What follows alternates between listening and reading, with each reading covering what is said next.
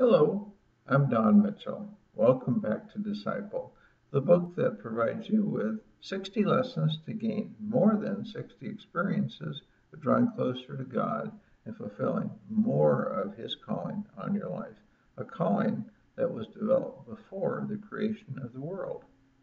Today we'll be looking once again at part two, Live the Gospel, and the third lesson of week one, Love More People.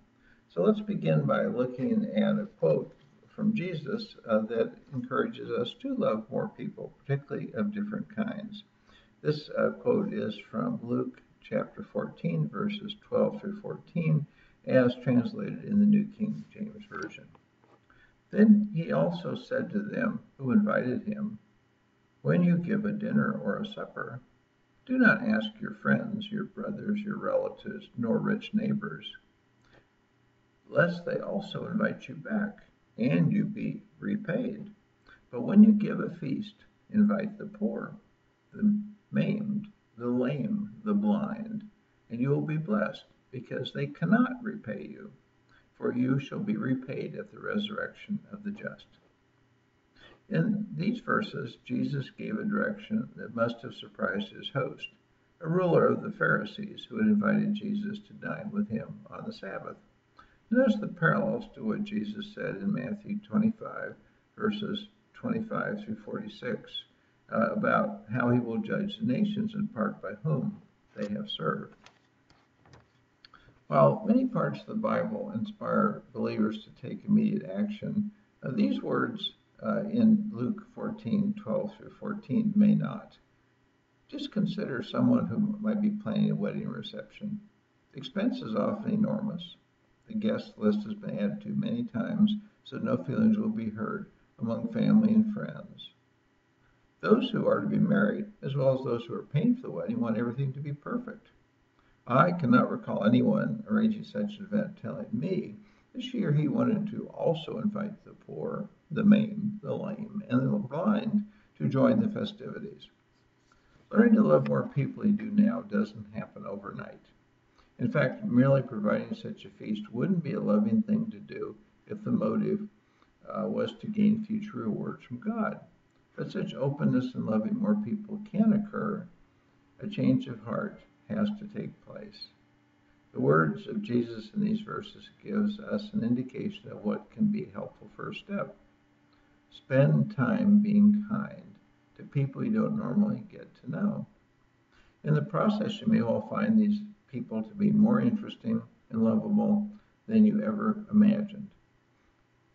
With a somewhat changed perception of such individuals, you'll be more likely to seek out someone who is different from you the next time there is an opportunity to do so. In addition to becoming acquainted with those you don't normally spend time with, feel free, of course, to meet with more people of the type you already know that you like. Both kinds of outreach are good ways of learning to love more people. Why might such experiences make you more loving? For many people, feeling love for others requires first finding something appealing about them.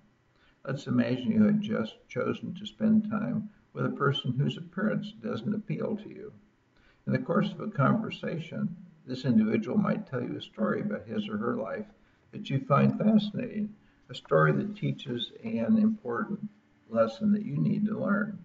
At that moment, the experience may generate an initial spark of love that can grow gradually into the greater love of appreciating such a person as a uniquely uh, created child of God, one with whom God intended you to spend time and to love.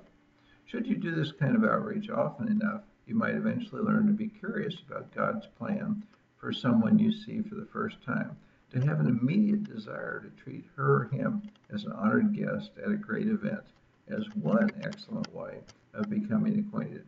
Perhaps then someday you'll host the kind of feast described in Luke 14, verses 12 through 14. Praise God when you do. So let's look at the, how we can uh, ask and answer some questions that will help us to live the gospel by loving more people. Just as your daily travels could either be limited to the interior of your home or instead involve going to many of the same places, choosing to love more people means extending your presence and yourself to do so. The following questions should help you to have the desire and commitment to make that effort every day. First, how did you come to love those you love now? Second, how could you repeat those steps to find more people to love? Third, what kinds of people have you never loved? Fourth, how might you develop love for at least one such person? Fifth, what can you do today to start the process of developing love for another person you don't love now? Six, what other ways might you learn to love others? Seven, how can you locate even more of such ways? Eight, what aspects of not loving others do you need to ask God to remove from you? Nine, where can you go now to find a new person you can learn to love and want to serve? 10. What was that experience like? 11. When will you do so again?